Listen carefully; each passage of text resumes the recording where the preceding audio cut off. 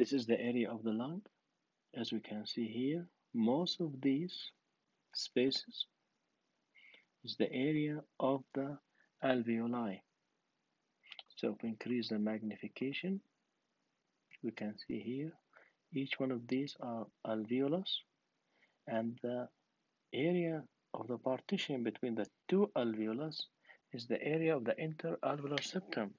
And I, I said in the lecture, at this area, we have the blood capillaries, which form the blood gas barrier.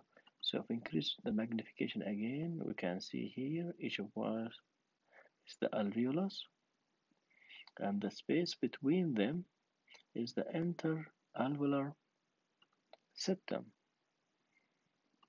And as you can see here, this is alveolus, and this is adjacent alveolus, and between them we have the interalveolar septum.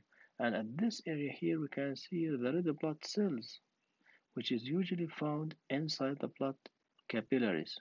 As I said, at this area here, we have the blood gas barrier, which is formed from the simple squamous epithelium, the basal lamina, and then the simple squamous of the blood capillary.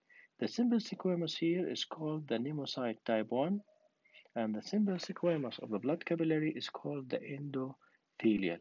As you can see here, most of the cells are simple squamous, which is the pneumocyte type 1.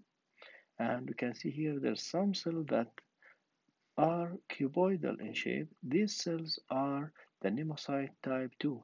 And these cells, the percentage of these cells is less than 5%.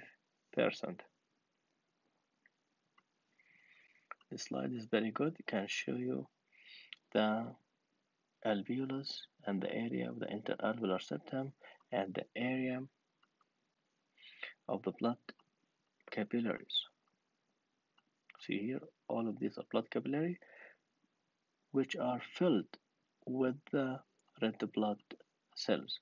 We can see here the cell here, the pneumocyte type 2, and the cell here, the pneumocyte type 1.